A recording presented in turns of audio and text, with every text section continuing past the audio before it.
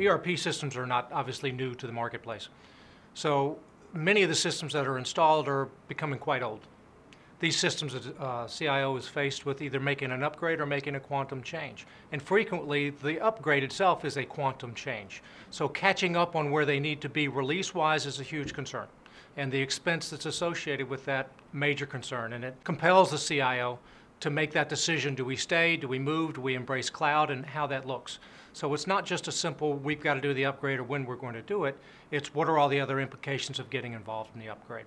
Next is many of the applications in the ERP world, they've been customized for years, especially when we're talking about PeopleSoft applications where there hasn't been a substantive new release in many years.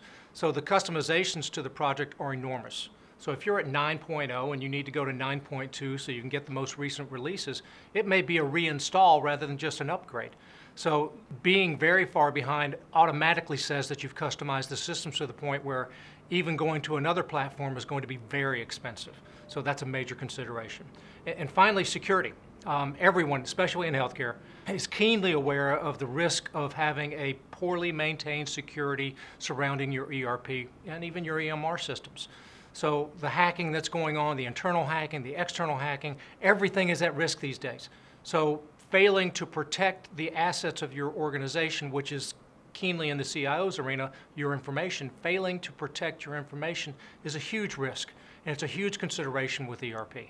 Failing to stay current with current releases with, from your vendor also means that you're not staying current with the state-of-the-art security measures that are in place. So those are the primary reasons that uh, CIOs are really taking a harder look at what's going on with ERP applications because the implications are not just singular, they're much more, they're multifaceted.